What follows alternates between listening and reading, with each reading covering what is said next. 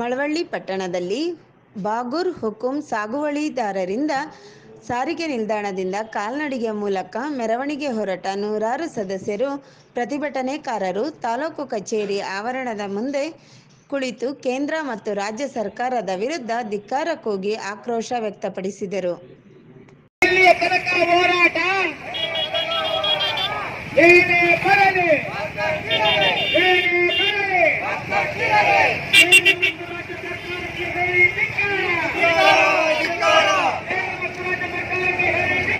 ರೈತರಿಗೆ ವಂಚನೆ ಆಗಲೇಬೇಕು ಬೇಕೇ. ಬೇಕು ಬೇಕೇ. ಬೇಕು ಏತಕ್ಕಾಗಿ ಹೋರಾಟ.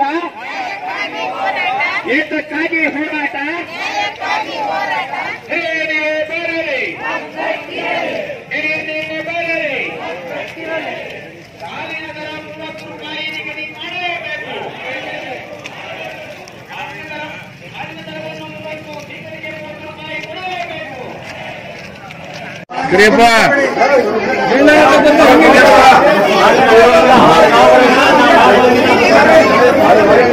ಆತ್ಮೀಯ ನಾಗರಿಕ ಬಂಧುಗಳೇ ಎಲ್ಲರೂ ಶಾಂತಿಯುತವಾಗಿ ಇಲ್ಲಿ ಕುಳಿತುಕೊಳ್ಬೇಕಾಗಿ ತಮ್ಮಲ್ಲಿ ಇದೆ ಅಂತ ಹೇಳ್ತಾರೆ.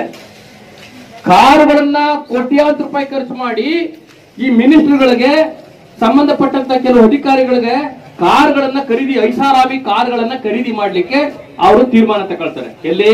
ವಿಧಾನಸಭೆ ಒಳಗಡೆಗೆ. ಐಸಾರಾಮಿ ಕಾರ್ ಬೇಕು. ಫೈವ್ ಸ್ಟಾರ್ ಹೋಟೆಲ್ ಅಂತ ಬಂಗ್ಲೆಗಳು ಬೇಕು. ಯಾರಿಗೆ ಎಂ ಎಲ್ ಎಗಳಿರ್ಲಿಕ್ಕೆ ಮಿನಿಸ್ಟರ್ಗಳಿರ್ಲಿಕ್ಕೆ ದೊಡ್ಡ ದೊಡ್ಡ ಅಧಿಕಾರಿಗಳಿರ್ಲಿಕ್ಕೆ ಬೇಕು ಅಂತೇಳಿ ವಿಧಾನಸಭೆಯಲ್ಲಿ ತೀರ್ಮಾನ ತಗೊಳ್ತೀರಿ ಆದ್ರೆ ನೀವು ನಮ್ಮ ರೈತರ ಬಗ್ಗೆ ಯಾಕೆ ನೀವು ತೀರ್ಮಾನ ತಗೊಳ್ಳಲ್ಲ ನಮ್ಮ ರೈತರಿಂದ ಆಯ್ಕೆ ಆಗಿರ್ತಕ್ಕಂಥವ್ರು ನೀವು. ಯಾಕೆ ನೀವು ರೈತರ ಸಮಸ್ಯೆಗಳ ಬಗ್ಗೆ ನೀವು ತೀರ್ಮಾನ ತಗೊಳ್ಳಲ್ಲ ಅಂತೇಳಿ ಇವತ್ತು ನಾವು ಅವ್ರನ್ನ ಪ್ರಶ್ನೆ ಮಾಡ್ತಾ ಇದ್ದೀವಿ. ಭತ್ತ ಬೆಳೀತಕ್ಕಂತ ರೈತರಿಗೆ ಸರಿಯಾದ ರೀತಿ ಬೆಲೆ ಇಲ್ಲ, ಕಬ್ಬು ಬೆಳೀತಕ್ಕಂಥವ್ರಿಗೆ ಸರಿಯಾದ ರೀತಿ ಬೆಲೆ ಇಲ್ಲ, ಹಾಲು ಉತ್ಪಾದನೆ ಮಾಡ್ತಕ್ಕಂತ ರೈತರ ಪರಿಸ್ಥಿತಿ ಒಂದ್ ಕಡೆ ಬಹಳ ಸಂಕಷ್ಟದಲ್ಲಿದೆ. ಮತ್ತೊಂದ್ ಕಡೆ ಬಗರ್ಕುಂ ಸಾಗುವಳಿದಾರರು ಅರವತ್ತು ವರ್ಷ, ಎಪ್ಪತ್ತು ವರ್ಷಗಳಿಂದಲೂ ವ್ಯವಸಾಯ ಮಾಡ್ಕೊಂಡು ಬರ್ತಾನೆ ಇದ್ದಾರೆ. ನಮ್ಮ ಜವರ್ಗಳ್ಳಿ ರವಿ ಹೇಳ್ತಾ ಇದ್ದ. ಒಬ್ರು ತಮೈ ತಾತ ಅಂತ ಬರ್ತಾ ಇದ್ದ. ಅವ್ರ ಅಪ್ಪ ಮಾಡ್ತಿದ್ದಂತ ವ್ಯವಸಾಯನ ಈ ತಮ್ಮೈ ಆತನೂ ಹಿಂಗೆ ಚಳವಳಿಗೆ ಬಂದಿದ್ದ ಹಲವಾರು ಬಾರಿ. ಆ ಚಳವಳಿಗೆ ಬರ್ತಾ ಇದ್ದಂತೆಯವ್ರು ಪಾಪ ತೀರೋಗ್ಬಿಟ್ಟ. ಇನ್ನು ಅವ್ರ ಮಕ್ಕಳಿಗೆ ಅರ್ಜಿ, ಈಗ ಅವ್ರ ಮಕ್ಕಳು ಹೋರಾಟ. ಅಂತಂದ್ರೆ ತಮ್ಮೈ ತಾತನವ್ರ ಅಪ್ಪ ಹೋರಾಟ ಮಾಡ್ತಿದ್ದ, ನಮ್ಗೆ ಅಪ್ಪತ್ರ ಬೇಕು ಅಂತ ಹೇಳಿ ಅದ ನಂತರದಲ್ಲಿ ತಮ್ಮ ತಾತ ಹೋರಾಟ ಮಾಡ್ತಿದ್ದ.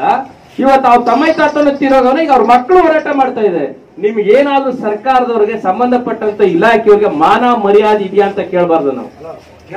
ಆ ಭೂಮಿನಲ್ಲಿ ಅನ್ನ ಬೆಳ್ಕೊಂಡ್ ತಿಂದಂತವ್ರನ್ನ ಆ ಭೂಮಿನಲ್ಲಿ ಬೆವರು ಸುರಿಸಿ, ಬೆವರಲ್ಲಾದು ರಕ್ತ ಸುರಿಸಿ ಜನರಿಗೆ ಅನ್ನ ಹಾಕ್ತಂತ ರೈತರಿಗೆ ಒಂದು ಹಕ್ಕುಪತ್ರ ಕೊಡ್ಲಿಕ್ಕೆ ನಿಮ್ಗೆ ಯೋಗ್ಯತೆ ಇಲ್ಲ. ನಿಮ್ಗೆ ಯೋಗ್ಯತೆ ಇಲ್ಲ, ನೀವ್ ಯಾರು ಕೊಡ್ತೀರಾ? ಅದೇ ನೀವು ಒಂದ್ಸಾರಿ ಎಂ ಎಲ್ ಎ ಆಯ್ತು ಅಂತಂದ್ರೆ ಸದಾಶಿವನಗರದಲ್ಲಿ ಡಾಲರ್ ಕಾಲೋನಿನಲ್ಲಿ ದೊಡ್ಡ ದೊಡ್ಡಾದಂತಹ ಪ್ರತಿಷ್ಠಿತ ವ್ಯಕ್ತಿಗಳು ವಾಸ ಮಾಡ್ತಕ್ಕಂತಹ ಸ್ಥಳಗಳಲ್ಲಿ ಕೋಟಿಗಟ್ಟಲೆ ಬೆಲೆ ಬಾಳ್ತಕ್ಕಂತಹ ಸೈಟ್ಗಳನ್ನ, ಡಬಲ್ ಸೈಟ್ ಸೈಟ್ಗಳು ಟ್ರಿಪಲ್ ಸೈಟ್ಗಳನ್ನ ಕೊಡ್ತೀರಿ ಆದ್ರೆ ನಾವು ಇಲ್ಲಿ ಅನ್ನ ತಿಂತಕ್ಕಂತ ಅನ್ನ ಬೆಳಿತಕ್ಕಂತ ರೈತರಿಗೆ ನಿಮ್ ನಿಮ್ಗೆ ಅನ್ನ ಆಗ್ತಕ್ಕಂತ ಅನ್ಬೇಕಾಗ್ತದೆ, ನಿಮ್